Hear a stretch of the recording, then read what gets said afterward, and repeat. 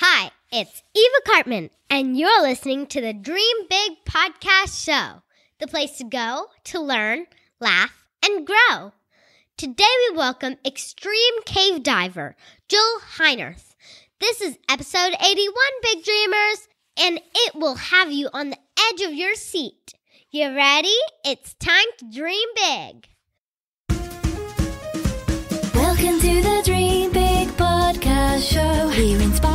To shoot for the moon, they came and go. We bring to you amazing guests who truly love what they do. Every day they're living their dreams, and so can you. Dream big, take action to reach your goals. Are you pumped yet? It's showtime. Let's rock and roll. Welcome to the Dream Big Podcast Show. I am your host, Steve Karpman. And today, I'd like to start by telling you about a special gift we have for all you big dreamers. We created a super cool Dream Big journal that we want to ship to you. And get this the front of the journal has an illustration of an astronaut in outer space. What is so amazing is that the journal is printed and personalized with your own face and name. So you'll see your face on the cover of this journal as an astronaut. Oh, and it's free. We just have you cover the shipping. Parents, please go to dreambigpodcast.com to claim your free personalized Dream Big journal while this offer is still available. You'll see a video of my mom and I showing our journals. Go to dreambigpodcast.com to get your free journal. It's time for you all to enjoy our discussion with the incredible Jill Heinerth. Jill is an extreme cave diver, and she may have the coolest job ever. She gets to dive deep inside underwater caves, search for never before seen ecosystems inside giant Antarctic icebergs, and explore the magical underwater world. How cool is that? You'll love hearing the amazing stories of her dives in this interview. As always, we have show notes at dreambigpodcast.com slash 81, where we will include links to everything we discuss in the interview. Without further ado, here's our interview with Jill Heinerth. Let's roll the tape. Hi, Jill. Hi, Eva. Hello. We're so excited to have you on our podcast. Oh, I'm happy happy to talk with you. and today we are going to ask you just a couple questions, but first, I want to ask you um, about your job, an extreme cave diver. I mean, Yeah. some of us have um, heard about scuba diving and stuff, but what is an extreme cave diver? So I swim inside water-filled caves beneath the ground and in some pretty crazy places. So everywhere from inside icebergs in Antarctica to underneath the Sahara Desert to caves and water-filled spaces all around the world. Wow, that's cool. Yeah. Did you grow up around that kind of sport, or how how did it happen that you became cave diver? Well, I was I was interested in becoming a scuba diver by watching uh, different television programs when I was a kid, and I really wanted to do it. And I I always liked caves, and I wanted to go to places that nobody had ever been before and do things that were really challenging. And so caves were a great environment to do that. So in the caves, I sometimes work with scientists. I'm a filmmaker, a uh, an underwater photographer, a writer, and uh, so there's lots of things that I do that help me stay in the water. Hmm. That's interesting. That's cool. And um I see you like found a really cool place to explore. and you, Yeah. We also learned that you actually dreamed of becoming an astronaut. Is it true? Mhm. Yeah, when I was a little kid, I wanted to be an astronaut. And at the time, we didn't have a space program in Canada, and we certainly didn't have any women astronauts to look up to. So um, it didn't seem like something that was possible for me as a child. But in a way, I got to do something equally or maybe even more challenging at times. Hmm, that's cool. I love how you did not get discouraged by the fact that there was like no um there was like no way for you to become an astronaut. So Instead, you went to another door that opened up for you and you just followed your new dream. Yeah. Yeah. That's Yeah, a good lesson absolutely. For our, uh, little big dreamers, right, Eva? Yeah, that Yeah. when a door closes, there's most likely another door that can be opened. Absolutely. And I think, you know, I, I love your podcast because dreaming big is what life is all about. And so when somebody tells you something is impossible, all that means is you have to figure out how to do something that hasn't been done before. It doesn't really mean that it's necessarily impossible because a lot of things that I've done in my career have been termed impossible by people and and with hard work and the right equipment and training and preparation I've been able to do these things.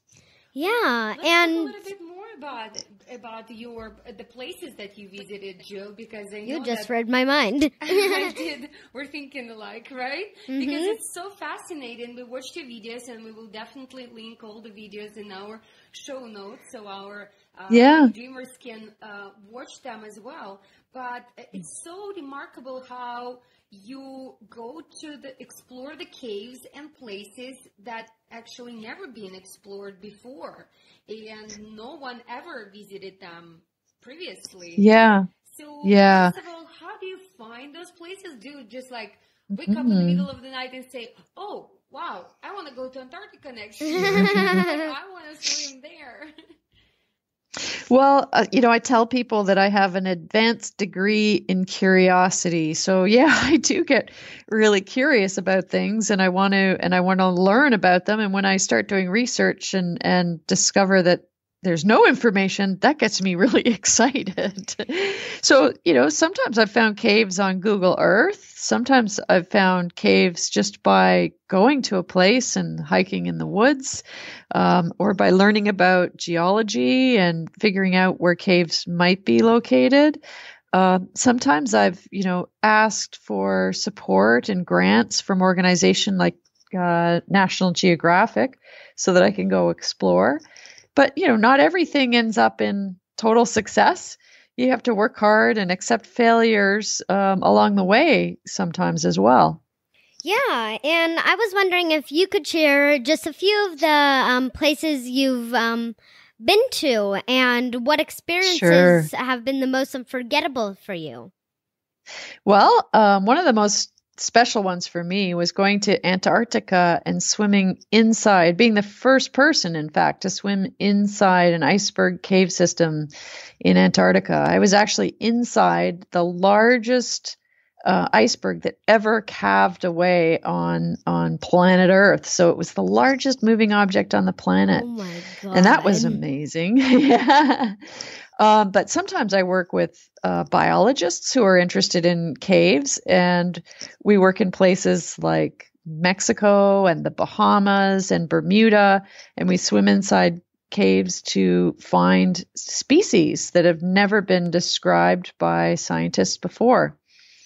But I also work with archaeologists in places like Cuba and Mexico and the Bahamas where we find like the remains of former civilizations like the Mayan people or the Lucayan Indians and we find artifacts that they've left behind and sometimes even the skeletons of of people who haven't you know walked on the earth for hundreds or even thousands of years uh, so I get to lot yeah. yeah, I get to work with a lot of people yeah I'm sorry. Uh, I'm just so so curious. Uh, You mentioned about the Mm-hmm. creatures that you usually like find in those caves. Uh, Yeah. What is the Mhm. most I would say um, Um, interesting interest- or w- uh, weird. what was the Yeah. most weird creature you've ever seen? Yeah. Yeah.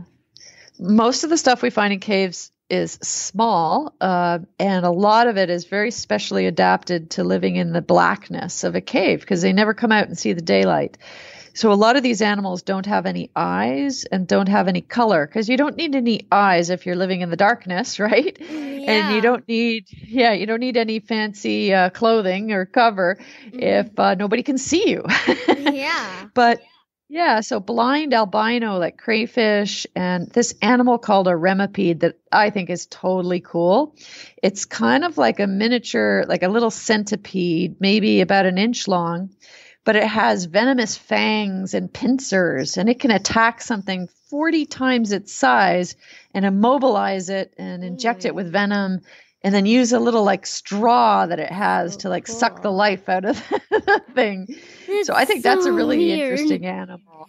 Yeah. Oh my god. Yeah. And I realize that what you're doing is really dangerous because um you're you're using oxygen tanks and they to breathe and they have um a limited supply of oxygen for you to ble- breathe. How do you um prepare for um your di- your diving and how do you make it as safe as possible? Cool. Well, there's a lot of training involved to become a scuba diver, but anybody who is 10 years old or older can take a basic scuba diving class and get started on that path. But for me, I've taken many, many classes over the years and it improved my my training and my abilities and my equipment um, as I've become more and more technical in what I do. Because sometimes we don't even use traditional scuba tanks like you might you know be used to seeing on TV. Um, and so we use other equipment like rebreathers. This equipment is a lot more like a spacesuit that someone uses to make a spacewalk, and it gives you a lot more time to deal with situations that could arise in some of these environments, and and uh, lets you go on really really long missions and in deeper places.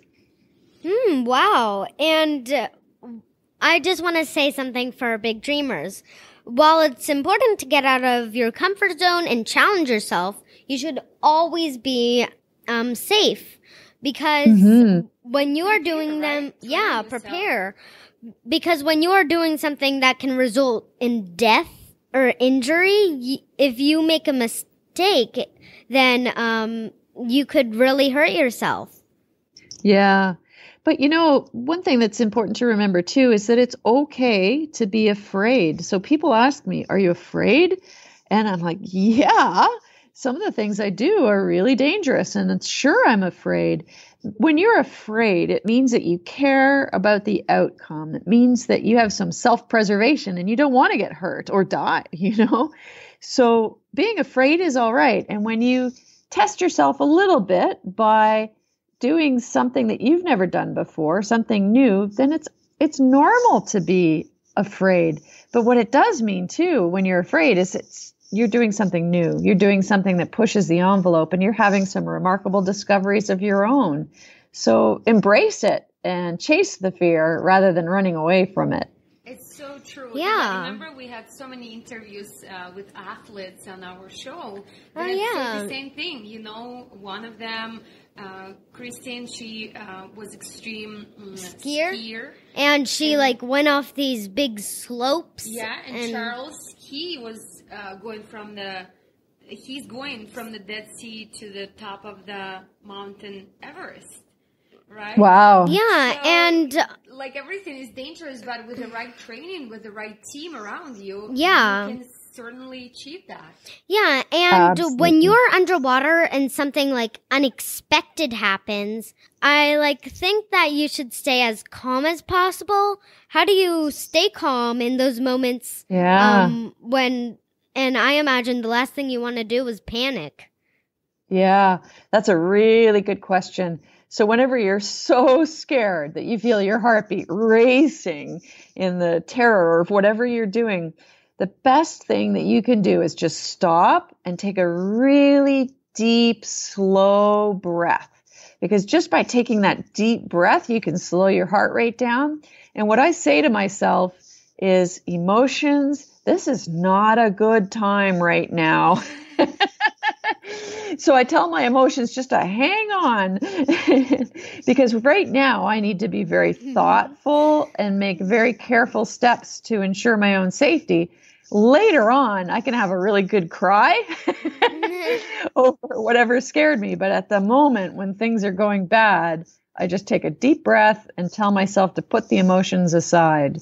That's a very, very good advice. Yeah. And I think our um, big dreamers can learn from that as well, right, Eva? Yeah, because it tells you not to panic and to just take a deep, slow breath so that you just and you just tell your emotions uh, it's not a good time to panic right now Yes, because and a situation like that will be happening in life, you know, everywhere. Maybe at school or with parents. Or Yeah. Oh or yeah. maybe for Jill like um she gets to this very narrow spot that she didn't think would be that narrow or she run she has um a lot less oxygen than she thought. Jill, actually, can you remember the situation, the actual situation? Can you tell us a little bit more about it? Like when did that Sure. happen to you last time? What happened exactly? Yeah, so I- I've had several situations in diving that have been really scary. Like I've been s- stuck inside an iceberg when the current was so strong that I couldn't get out. And I've been hmm. stuck behind a scientist in a cave who was trapped and panicking. And I had to calm the scientist down so that um, we could deal with the situation and we could both get out of the cave because the scientist was stuck. And in the moment that that things start happening, you feel this cascade and you feel your heartbeat trying to race. But but that's those moments when I tell myself, okay, deep breath, just stop getting worried. There's the best thing that you can do right now is just take the next best step. You might not be able to picture how the whole thing is going to work out, but you do know what the next best step to take is. And um, Just like, work towards success. uh, or something like that that you send signal back to the crew uh, who is helping you on above the Water? above the water. Yeah. Yeah, not very often. So most of the time when I'm inside a cave, I don't have any way to communicate with, you know, mission control or anything like that. Only very occasionally do we have that kind of technology available to us. So that means that we have to enter a cave knowing that we're capable of self-rescue and capable and willing to try and rescue our buddy as well. That's how I know if I'm ready to do a particular mission or a particular dive is if I'm, you know, ready and willing to rescue myself or somebody else. And if the answer is no, then I shouldn't be going on that dive. And I think that's a good lesson that you can also carry into other aspects of life. You know, are you willing and ready to be responsible for your own choices and decisions? And are you willing to also, you know, help out that person who's your partner in whatever your endeavor is? And then that speaks a lot about your confidence as well. You know, when you start something new, you have to be confident inside first that you're gonna do it no matter what. You're Yeah. gonna do it. Everything gonna be great. You know. Yeah. And, And- Yeah. if you go in with fear, that's what you're gonna get. You're gonna get fear, Fear. and Yeah. failure. Yeah. But if you go with the confidence, you get uh, the outcome that's rewarding. Yeah, and if there are two people who are like scared, first you need to calm down yourself because Mhm. you'll be no help if you don't Yep. calm down yourself. So Absolutely. calm down yourself and then Go. calm down others. And also, um, I have a question about um your the caves. Is there like a underwater cave that's on the top of your to do list? Oh, wow. Yeah, I, well, there's a lot of places that I would love to go around the world still. There's so many places. um, yeah. Uh, you know, I'd like to go to the Galapagos Islands to dive, and I understand there's some caves there that aren't explored yet. Uh, but boy, there's so many other places.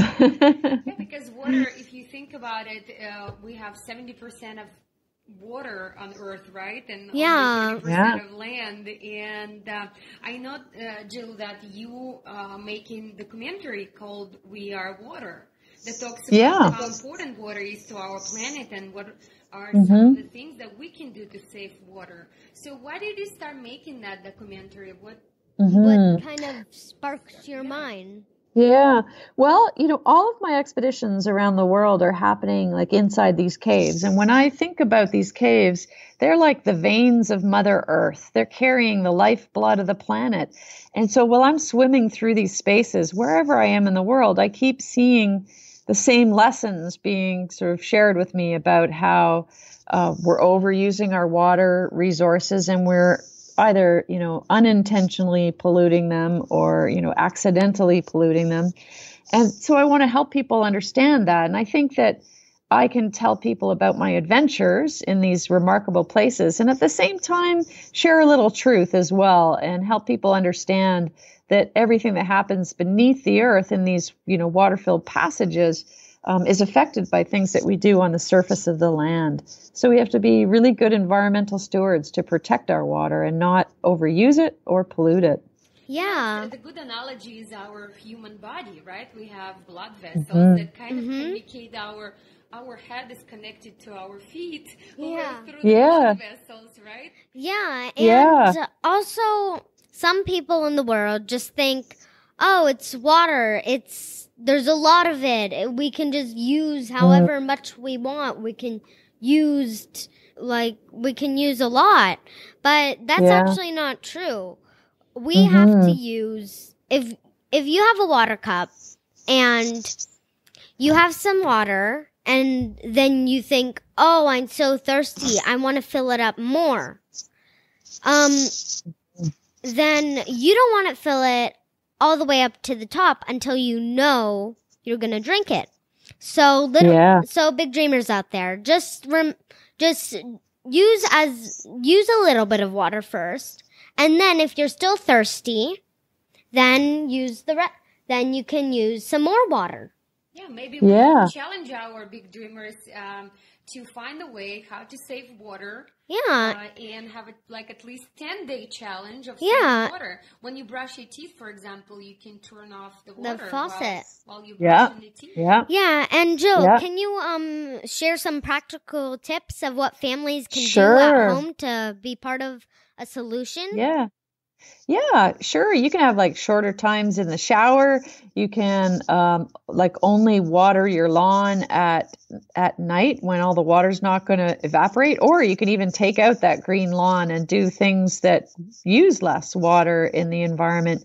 But you can also do things like become a part-time vegetarian and eat a little bit less meat because meat uses a lot of water to um, to grow, and plants use less water in the food production process. So you can learn about what we call your water footprint. So how you use water in ways you don't even know about, like how much water it might take to make a pair of blue jeans or to make a hamburger, and then try and um, take action. So you can actually go to my website at intotheplanet.com and go to the We Are Water page, and there's a whole bunch of tips and tricks about how to use less water. That's great. It just uh, Yeah. totally relates, Eva. We just recently had an interview with Dr. Kate, and she's an oceanographer, and she Yeah. was telling us about how um, we also can actually protect the water uh, by um, using less plastic, uh, Yeah. by saving water at home. So please, big dreamers, keep in mind that water is so essential for our planet. And And we can save global also the ocean and the creatures Yeah. inside if we just um, don't use plastic and throw our trash and use like less anywhere water. Yeah. That's and use great. Yeah, less water. absolutely. Those are all great Absolutely. lessons, and we will Mm-hmm. challenge our big dreamers to take action and come up as a family with a challenge for 10 days at least, and then repeat that. What can you do to save water, to protect Or our save our planet. To save our planet, Mm-hmm. one family at a time. Yeah, and Joe, we have now we have these questions called rapid fire questions where we ask Mm-hmm. you a question quickly and you answer quickly. Okay. Do you have any daily routines that you do? I love to go riding my bicycle. Ooh, I love to do that too. Um, Mhm. what's your proudest moment in life? Well, last year, the Governor General of Canada um, presented me with something called the Polar Medal, and that was a great honor. That's amazing. Wow. What's your favorite thing to do when you're not working? I mean, your work is pretty amazing full of adventures. Well, when you do what you love, it doesn't really feel like work. So a lot of my leisure time overlaps with my work time. So I'm an artist. I like to take photographs and shoot films, whether I'm working or not. Um, and I still go diving on my days off. What has been your greatest achievement so far? Well, um, Oh, Boy, is that that's kind of like your rapid fire. I know I'm supposed to like blurt it out right away. Um, but I think you know some of my greatest achievements are are trying to reach out to um, young people. So like through podcasts like yours, or or talking in the schools where I was today in Canada, um, and trying to be a, a role model for the next generation. I think that's the most important thing. Hmm. If you go back in time and talk to your 10 year old self, what would be the best advice? I would say live your dreams. You know, do what gives you passion and you, you know, if you chase those passions, you will find a way to turn that into a career that is uh, makes anything possible for you. Hmm. When you have doubted yourself in the past, what made you overcome your fears?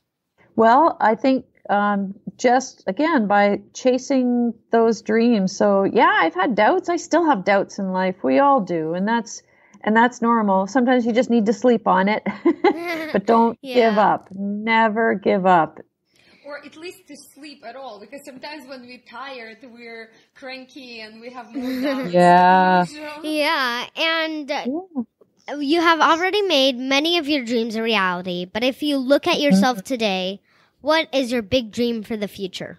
Uh, my big dream for the future would be, well, to be able to slow down a little bit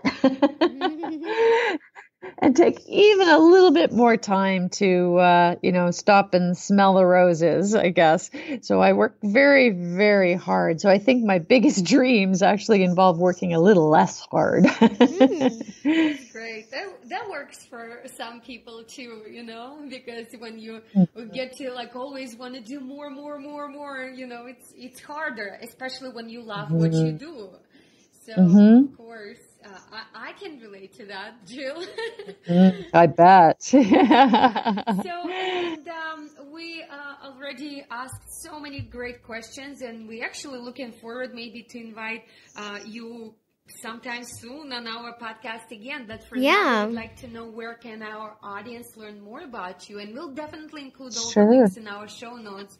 But maybe uh, Yeah. our audience can go directly to your website and uh, watch all your amazing, Yeah. amazing videos and photography. Thanks. Yeah, the best place to find me is at intotheplanet.com. And uh, there's lots to look at there. And I really look forward to uh, talking to you again. Awesome. Well, thank you We're so much. for so joining excited to talk to you again. Thank you. All right. Thanks, Eva. Thanks, Olga. Thank you. Bye. Bye. dreamers, Remember that any dream can become a reality. Uh, we and just follow your big dreams and take action. exactly because Mm-hmm. uh, as you can see, uh, Jill dreamed dreamed to be uh, an astronaut, and she found something new for herself and something amazing and exciting, and now her job feels like play every day. So she Yes, can it does. amazing places and go to the places that never, uh, no one ever visited before. So definitely believe in your dreams, take action, and, and reach your goals. yep. Bye. Mhm. Bye. I really loved our chat with Jill, and I think this shows once again that you can follow your passion in life, no matter what that passion is. It is amazing to me that Jill was the first person to ever explore many of the places she has visited. Be sure to check out our show notes at dreambigpodcast.com slash 81 for links to Jill's website and everything else we discuss in the episode. When you go to the show notes, you'll see a place to sign up for our insider newsletter, where we send exclusive content, including a free audio that I made on my top 10 tips for making and keeping great friends. This audio is only available for those who subscribe, and I know this will really help you. So please be sure to have your parents join the newsletter to get it. Thank you so much for tuning in. This is Eva Karpman reminding you that you have unlimited potential. Your dreams are not optional, you need to make them essential. So take massive action to turn those big dreams into reality. Live with passion the way life is meant to be. I'll see you in the next episode. Bye.